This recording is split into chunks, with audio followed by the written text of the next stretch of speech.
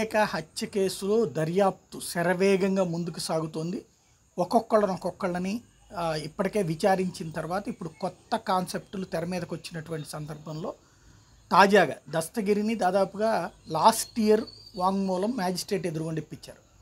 అయితే ఇప్పుడు మరొకసారి వాంగ్మూలం ఇప్పించేందుకు ఇవాళ ఈవేళ ఇప్పించారు. దానికి సిబిఐ తగిన ప్ర ప్రిపరేషన్ చేసింది. వివేక హత్య కేసులో సిబిఐ దర్యాప్తులో పులివెందురు కోర్టుకు తీసుకెళ్ళారు దస్తగిరిని.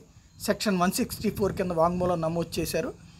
గతేడాది నవంబర్ ఇరవై ఆరున అప్రూవర్గా మారేందుకు కడప కోర్టు అనుమతిస్తే గతేడాది ఆగస్టు ముప్పై ఒకటో తారీఖున మ్యాజిస్ట్రేట్ ముందు వాంగ్మూలం ఇచ్చాడు దస్తగిరి. ఇప్పుడు మరొకసారి వాంగ్మూలం. అది కూడా ఏంటంటే ఇప్పుడు లేటెస్ట్గా హైకోర్టు దాకా వెళ్ళడం కొన్ని పాయింట్స్ కొత్త పాయింట్స్ రైజ్ చేసినటువంటి సందర్భంలో అవినాష్ రెడ్డి వైపు నుంచి కొత్త పాయింట్స్ స- వైసీపీ వైపు నుండి కొత్త పాయింట్స్ రైజ్ చేసిన సందర్భంలో ఆ రెండవ కోణానికి సంబంధించినటువంటి పాయింట్ని మళ్ళీ విచారించేటువంటి అవసరం లేకుండా దస్తగిరి చేత మరొకసారి వాంగ్మూలం ఇప్పించేటువంటి కార్యక్రమం. ఒకవేళ ఆ మొదటి వాంగ్మూలానికి రెండవ వాంగ్మూలానికి కనుక తేడా ఉంటే మళ్ళీ కేసు మొదటి నుంచి విచారించాల్సి వస్తుంది. ఓవరాల్గా అయితే ఇది తాజా పరిణామం.